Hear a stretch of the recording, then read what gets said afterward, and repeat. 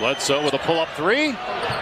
And long rebound tracked down by Giannis who goes right at Sabonis and finishes strong with the left hand. And get to the basket against anybody. Look at that Euro step right there. Here he is again with that kind of push shot floater.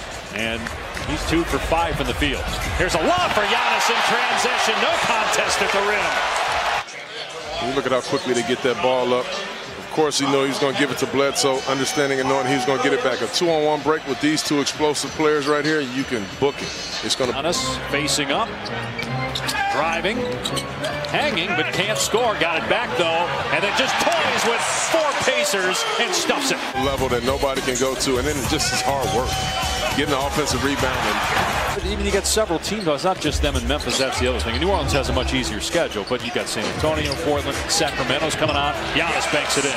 Starting to get to their second and third option on plays and not forcing quick shots against a very good defense. Lopez on the scoreboard. Giannis gets his second assist. Like he's playing at his best, smiling more when the game's more free flowing because he said he's had to make a lot of adjustments this season, a lot of compromises this year. Struggles on offense carried over. Is that fair to the defensive side? Yes. You know, sometimes, you know, a lot of players, that, that just kind of happens. In particular, nice shot right there by DiVincenzo. Sterling Brown with the rebound. Largest lead of the night for Milwaukee in 24. Antetokounmpo step through score against Turner. He's up to 27 points now. Seven of those coming in the fourth quarter for the reigning MVP. Brown with the pick. Here's Giannis. Here comes Asia.